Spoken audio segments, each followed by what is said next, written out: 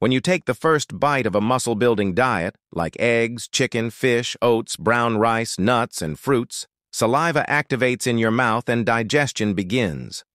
The food moves to your stomach, where strong acid breaks down protein-rich foods into amino acids, the main building blocks of muscle. In the small intestine, amino acids, carbs, healthy fats, vitamins, and minerals are absorbed into the bloodstream. Your blood delivers these nutrients to your muscles.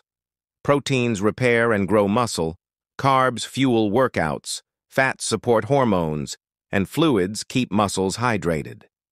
After training, muscle fibers rebuild stronger, denser, and bigger. That's how a balanced muscle-building diet works.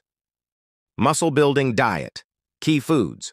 Proteins like eggs, chicken, fish, beef, whey, Greek yogurt, lentils, carbs like oats, brown rice, sweet potato, whole wheat roti, fruits, healthy fats like almonds, walnuts, peanut butter, olive oil, avocado micronutrients like green vegetables, bananas, dates, milk, seeds,